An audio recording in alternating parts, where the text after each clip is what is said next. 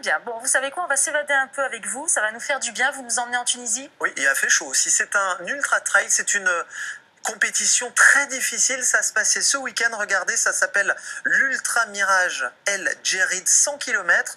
Alors, ça n'a l'air de rien, mais c'est quand même l'épreuve d'ultramarathon quasiment la plus engagée du monde arabe. 180 coureurs, 26 nationalités pour cette compétition. C'est 100 km, 100 km en une seule fois.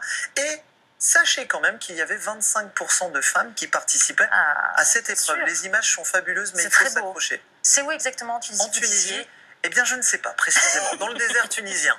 Je ne Très pas bien. vous sur Bon. une carte. On y reviendra plus tard. Merci, Merci beaucoup, euh, David, pour cette chronique complète. Tout de suite, l'information continue, bien sûr, sur France Info. On se retrouve à 14h30.